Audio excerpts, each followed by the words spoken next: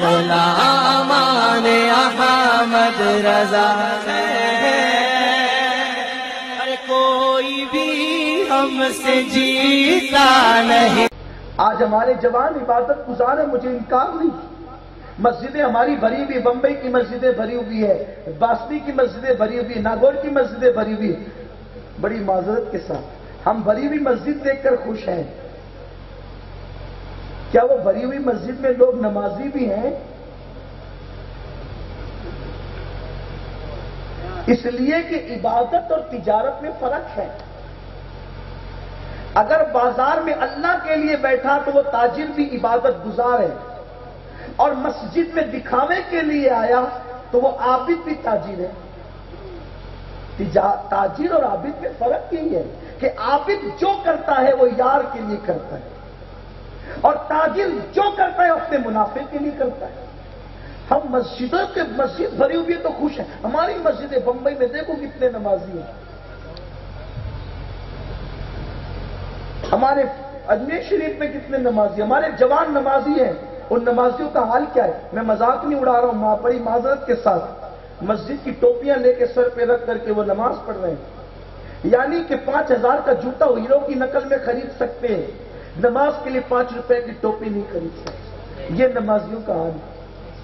قرآن کہتے ہیں سلا تنہا انل پاشا ایول من کر بے شک نماز ہر برائی سے روک دیتی ہے، بے حیائی سے روک دیتی ہے۔ نماز پڑھ کے باہر نکل رہا ہے اور پکچر کی بات کر رہا ہے۔ یہ کون سی نماز اللہ کے رسول نے فرمایا، نمازیوں سنو نمازیوں سنو، نمازوں پہ ناز کرنے والوں سنو۔ اللہ کے رسول فرماتے ہیں، نماز یا تو برائیوں سے روک دیتی ہے اور اللہ کے قریب کر دیتی ہے۔ اور جو نمازی گناہوں سے نہیں رکتا ایسی نماز اس کو اللہ سے دور کر دیتی ہے۔ نماز صرف اللہ سے قریب نہیں کرتی، کچھ نمازیں اللہ سے دور بھی کرتی ہے جو نمازیں گناہ سے روک دے وہ اللہ سے قریب کرنے والی نمازیں ہیں۔ اور جن نمازوں سے آدمی گناہ سے نہ رکے، ایسی نمازیں اللہ سے دور کر دیتی۔ حضور کا فرمان ہے، میری کیا حیثیت ذرا نمازیوں کے موبائل کا بھی تو جائزہ لو، اتنے مشکل مشکل پاسورڈ کیوں ڈال کر کے رکھا ہے؟ آخر اتنا مشکل پاسورڈ ڈال، اتنی بڑی داڑھی، اتنا مشکل پاسورڈ ڈالنے کی ضرورت کیوں پیش ہے؟ میں یہ نہیں کہتا کہ ہر مشکل پاسورڈ ڈالنے والا جو ہے وہ پاپی ہے، لیکن کیوں ضرورت پیش آئی؟ مومن کی زندگی تو کھلی کتاب ہوتی ہے۔ اس کی زندگی کھلی کتاب ہوتی، تمہارا موبائل کھلی کتاب کیوں نہ ہو سکا؟ بیوی سے موبائل چھپا رہے ہو، اس کا مطلب دل میں چون کہ موبائل میں ضرور وہ چیزیں ہیں۔ بیوی دیکھے تو ناراض ہو جائے۔ ارے نادان، اپنی نمازوں پہ، سجدوں پہ ناز کر رہا ہے۔ جو مناظر دیکھ کر بیوی ناراض ہو، وہ مناظر دیکھ کر خدا ناراض نہیں ہوگا۔ تیری بیوی غیرت والی ہے۔ اس سے زیادہ غیرت والا تو خدا ہے۔ اس کی غیرت کا خیال کیوں نہیں کرتے؟ رسمی اسلام میں نجات نہیں ہے۔ حقیقی اسلام میں نجات ہے۔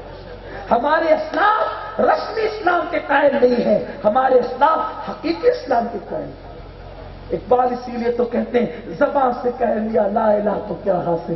دل و نگاہ مسلمان نہیں تو کچھ بھی۔ یوں تو شنکر اچاریہ بھی کلمہ اپنی تقریروں میں پڑھتے ہیں۔ ہم نے کلمہ پڑھا تو کون سا کمال کیا؟ کلمے کا تقاضا پورا کرو۔ دل و نکاح بھی تو مسلمان ہو، ہوش و خیرت بھی تو مسلمان ہو۔ بہرحال، آپ کہیں کہ شارٹ کرنے کی بات کرتے ہیں، پھر آگے بڑھتے ہیں، لیکن میں شارٹ ہی کر رہا ہوں۔ فاروق اعظم نکلے کہ چلو ذرا دیکھیں نا کہ کون کتنا متقی ہے۔ میرے عزیز تصویر گمانے سے کوئی متقی نہیں ہوتا۔ آج ہمارے ہاتھوں میں تصویر تو ہے۔ اس نے بہت اچھی بات کہی ہے۔ کبیر داس نے۔ نقل کرنا کوئی برائی نہیں ہے۔ کبیر داس کہتا ہے کہ سب مالا کی موتی گھماتے ہیں۔ مالا کا من کا گھما رہے ہیں سب لوگ۔ کوئی دل کا من کا کیوں نہیں گھماتا؟ تھا تو کبیر داس لیکن اچھی کہہ گئے۔ مالا گھمانے والوں ذرا دل بھی تو گھماؤ نا۔ اور جن کے دل گھوم جاتے ہیں نا پھر، جن کو لذت آشنا ہی نصیب ہو جاتی ہے نا پھر۔ پھر ان کی زندگی کچھ اور ہوتی من کا مالا کون گھمائے گا؟ من کا موتی کون گھمائے گا؟ تسبیح کے دانے اور جگر مراد آبادی کی بہت پیاری بات کہہ گئے۔ کہنے لگے نہیں محو تسبیح ہی تو سب ہے، مگر ادراک کہاں؟ محو تسبیح ہی تو سب ہے، مگر ادراک کہاں؟ زندگی خود ہی عبادت ہے، مگر ہوش نہیں۔ اگر دل خشیت ربانی اور عشق مصطفیٰ کا گنجینا ہو جائے، تو پھر تسبیح ہاتھ میں ہو یا نہ ہو، زبان پہ الفاظ تسبیح کے ہو یا نہ ہو، بندہ سو جائے، اس کا سونا بھی عبادت ہو جاتا ہے۔ مومن کا تو سونا بھی عبادت ہے۔ مومن کا تو چلنا بھی عبادت زندگی خود ہی عبادت ہے مگر ہوش نہیں۔ مومن تو بن کے دیکھو، چلنا بھی، ارے کھانا بھی عبادت ہے، بولنا بھی عبادت ہے۔ جب سونا عبادت ہو گیا تو کیا رہ گیا؟